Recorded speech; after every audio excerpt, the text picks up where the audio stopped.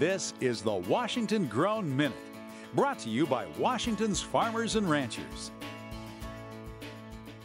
The world needs both conventional and organic farms to meet its needs. Organic farming can continue to develop sustainable practices that can be adopted more widely. At the same time, conventional practices are necessary to improve productivity to feed everyone.